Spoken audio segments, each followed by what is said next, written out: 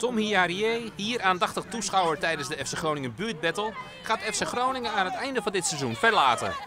Hiarie kreeg van FC Groningen een aanbieding om zijn dit seizoen aflopende contract te verlengen, maar besloot daar niet op in te gaan. Ik heb er wel over nagedacht. En uh, ja, dan zit je even met je familie en uh, dan bespreek je alles even. En uh, ja, ik denk dat ik met dit, met dit contract kon ik moeilijk akkoord gaan, denk ik.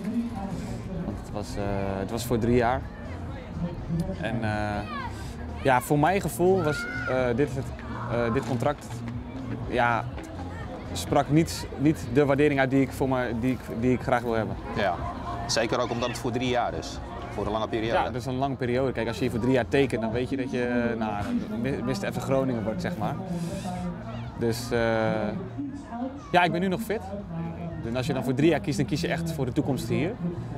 En op zich lijkt het mij ook nog wel leuk om ergens anders, uh, ergens anders te kijken. Afgelopen winter was er belangstelling voor Hiarie uit het buitenland. Maar uiteindelijk bleef hij bij FC Groningen.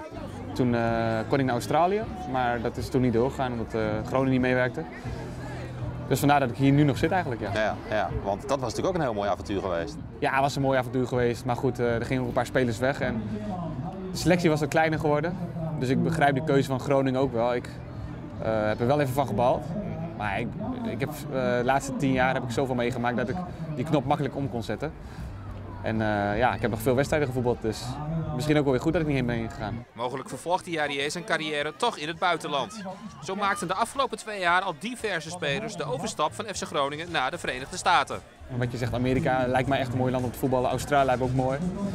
Uh, nou, ergens waar het lekker weer is, uh, daar denk ik wel even over na inderdaad. Dat, dat, dat, ja, dat zou, zou top zijn. En het voetbal ook uh, gewoon hoog, hoog is aangestreefd, zou, zou leuk zijn.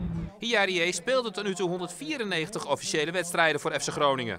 Weet jij hoeveel wedstrijden je nodig bent om bij de top 25 van spelers met de meeste wedstrijden voor FC Groningen te komen? Daar heb ik echt geen idee van, nee. nee. Nog drie wedstrijden. Nog drie wedstrijden. Nou, we spelen er zelf nog twee natuurlijk. En uh, ja, dan moet ik, moeten we dus echt voor de play-offs gaan. Ik zal het even doorgeven in de groep. Dat we even moeten bikkelen dat ik bij de top 25 kom. Ja, dat zou een mooi afscheidscadeau zijn, hè? Ja, het zou top zijn. Ja, we hebben een lastig programma, maar dat zou een heel mooi afscheidscadeau zijn. Als wij de play-offs nog zouden halen en winnen natuurlijk, zou het helemaal top zijn.